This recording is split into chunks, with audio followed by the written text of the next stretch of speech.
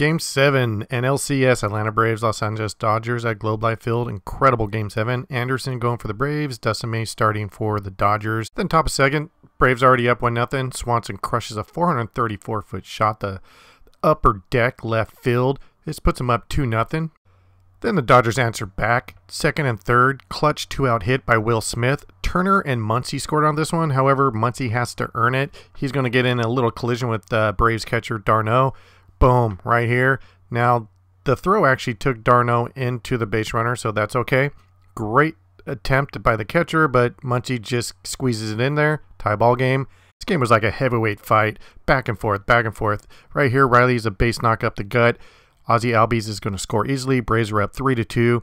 And then Markakis hits into a really weird double play. Swanson's trying to get home, gets caught in a pickle.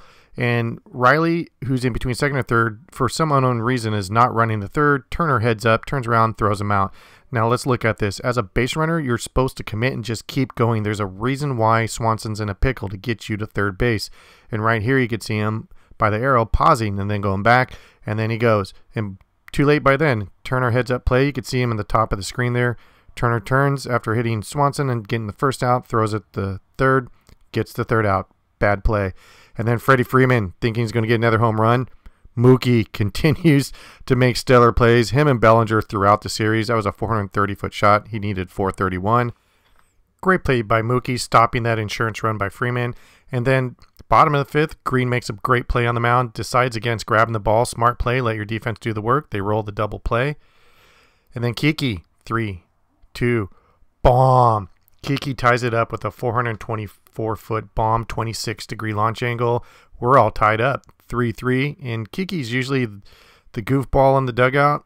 Not this time. He's dead serious. And bottom of six, Dodgers rallying. Seager grounds into a fielder's choice. Taylor's out at home.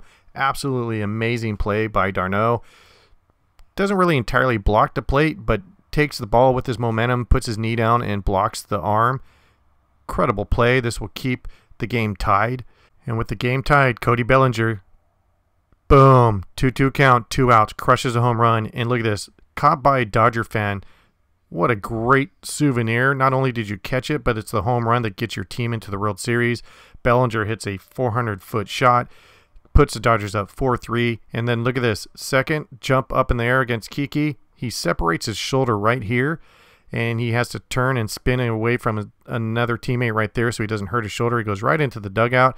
They pop it back into place, and he was fine. But man, separated his shoulder on celebrating. There it is again, the go ahead home run. And then the last out of the game, fly ball to who else? Bellinger. Easy out. Dodgers win game seven, moving ahead to the World Series. And this was a heck of a comeback by the Dodgers. They were down 3 1 in the series. Urías pitched three solid frames. He was 4 0 during the playoffs. And the MVP goes to Corey Seager, of course. He had just clutch hits throughout the playoffs. Dodgers moving on. Cannot wait to watch the World Series now.